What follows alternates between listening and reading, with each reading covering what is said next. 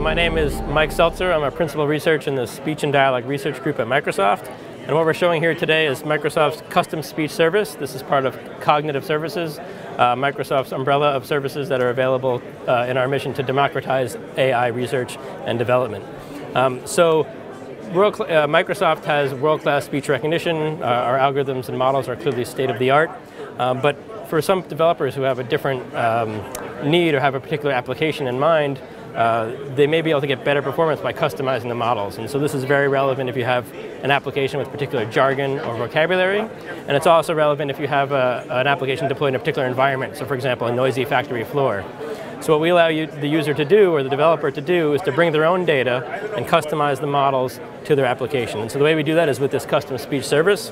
You can log in, create an account, and upload your own data. And so I'll give you a quick example of a model we've built here. This is for an application uh, we're pretending that this is a kiosk in an airport, and someone would go up and want to get some kind of flight information. And you can imagine that the an air, uh, terminal of an airport is very, very noisy. And of course, the vocabulary is very uh, specific to travel requests. And so we've basically taken that, th those things and used that to customize the model. And so for example, if we give a sample query here, you'll see that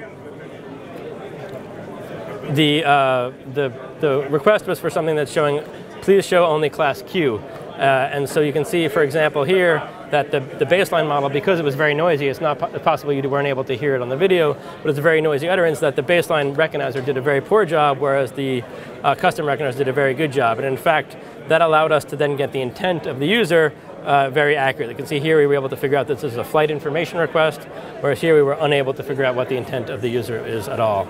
Um, now, in addition to the various ways developers can do this on their own, we've also taken the service and applied it to uh, PowerPoint in a way that enables pre uh, presenters to basically have customized transcriptions for all their slides. So for example, here's a, um, a PowerPoint slide I took from the web uh, involving organic chemistry. And if I, I can start, and what we do is we take all the material that's in the slide, all the text, and we use that, we take, take all that text to update the language model of the speech recognizer. In addition, we do an intelligent crawl to go and retrieve, based on these words, other information from the web that can be used to inform the model. And so all that happens, that goes behind, seamlessly uh, behind the scenes to build an updated custom endpoint that can do great transcription of your material. So I'll do a quick example here. Uh, forgive me, I don't really know anything about organic chemistry, although I will try to uh, speak about it here.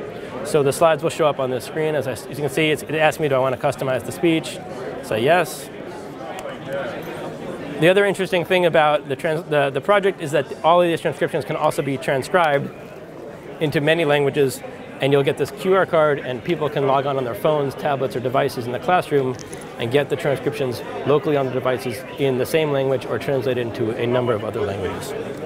So you can see if I go here, this is a lecture on stereochemistry. And I can come up to a slide that has, for example, interesting terminology like hybridized carbons or uh, plane of symmetry. And you can see up here that we're getting these transcriptions, uh, you know, perfectly accurate. And this is a slide I like because there's something here called particular mirror image molecules called enantiomers, and I'm fairly sure that things like enantiomers and stereoisomers are not things you'd find in the vocabulary of a common speech recognizer, but here it's critically important for transcribing your slides, and so as a result we're able to do a really good job.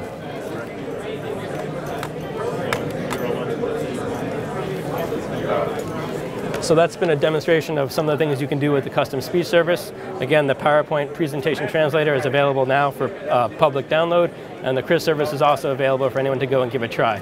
So hope you enjoyed that.